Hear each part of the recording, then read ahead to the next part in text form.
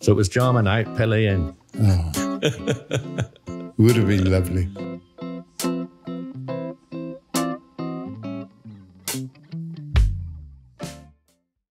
another new came into your life. A New York Cosmos was the was the was the next move. How on earth did that come about? Well, uh, we had a lad we had a lad come down on trial from Carlisle one day, and uh, I got for I, I, I made quite good friends with him. He was he was on trial for about a month, but he wasn't quite good enough. Uh, well, at the time, oh, Gordon Bradley, and uh, well, eventually ended up as New York's chief coach, and uh, he came over. I went into Doug Hillard's shop one day, and there was a chap in there who was at, at Yale University, and he was the chief coach there, and he, we got talking.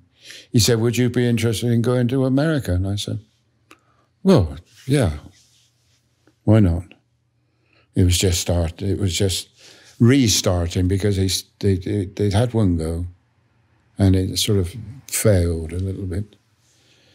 And um, so the next thing I knew, Gordon Bradley was chief coach.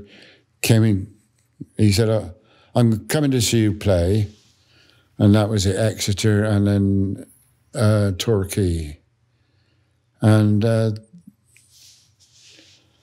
they offered me three times as much, four, no, about four times as much as I was getting at, at Newport, who were paying me more than what Bristol Rovers paid, paid me anyway. Uh, for about 16 games, 18 games in New York. They paid everything with my um, where I stayed. I had a flat uh, with a lovely te- uh, colored television, which we didn't have, uh, and a fully furnished flat, beautiful. And I thought, well, this is yeah. I'll have a go at this. Few surprises though. I imagine the pitches were a bit of a surprise at the time because a lot of it was AstroTurf, wasn't it? Oh yeah. Um, the very first one I played on was AstroTurf, and uh, in the Hofstra University, they apparently won their sort of league the year before, or their division. Uh, but it wasn't very good. Apparently, you know, they played on this as it was like concrete. And uh, was the very first time I'd ever played on it. I, I managed to score, actually. Um, but then it was slightly different. You, you could walk on the field and they'd have this music playing, diddly and then they'd announce your name, and you had names on the back of your shirt, which didn't happen over here at all, you know. Uh, the pitches weren't all that brilliant, uh, and and the standard was, the standard was okay, but uh, it wasn't until the following season that probably the greatest player in the world went there. But you left. you got homesick, Harold, didn't you? That was one of the reasons you, you were homesick over there. Yes, I had three young children. I hadn't been away from them at all, and I did get I did get very homesick. Um, about uh, ten years later, oh no, five years later, I suppose, I had a phone call from from Gordon Bradley, and what he wanted was, uh, did I know of any young players that wanted to um, that were they were, were interested in playing football, but also continuing their education.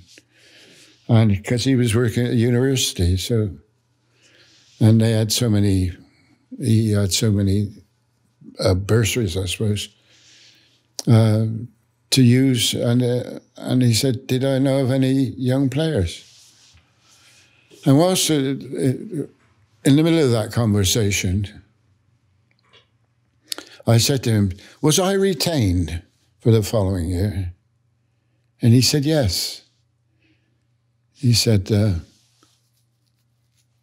I said, oh, good. I said, because I said, uh, I often tell the story that they had to replace, you had to replace me with Pele. he's, he's, he's sort of smart about it. I said, uh. I said, it cost him a million pounds to re replace me. He said it cost four times as much as that. yeah, so so you, it was your decision to leave then, basically, and, and, had you had you stayed, you would have played alongside. Oh, Pele. Oh yes, I would have played alongside Pele. Yeah, God. But he came out of retirement, and the difference that he made to American football was enormous. And I, I, I think now that that was the start of the sort of renaissance of uh, yeah American football. Because so many other big names followed, didn't they? That was the so thing. many big names followed him over there. So many other clubs played out big money. Um, and the standard of the American players went up because the standard, they they had a, a, a very useful thing. They, you had to include three different, three American players, which was good.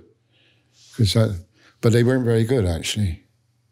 And one who stayed were Werner Roth, the centre. I didn't think was a very good player at all. but he he played with Pele for two or three years. Did he? Did he? Yeah. And they built a they built a new stadium out, out of it well. Really? Yeah. So it was Jarman out, Pele in. Oh. Would have been lovely. Would have been nice to play with him, wouldn't it? Yeah, absolutely. Mm.